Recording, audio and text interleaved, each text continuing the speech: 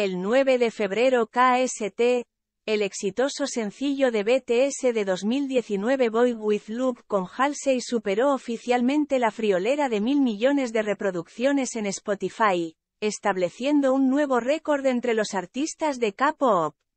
Lanzado el 12 de abril de 2019, como la canción principal del sexto mini álbum del grupo Map of the Soul, Persona, Boy With Loop alcanzó el conteo de mil millones de reproducciones en la plataforma tres años y nueve meses después de su lanzamiento.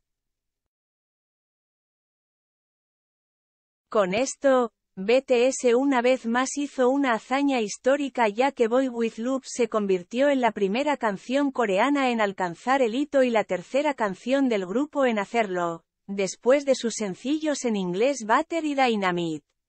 Punto punto. Felicitaciones a BTS.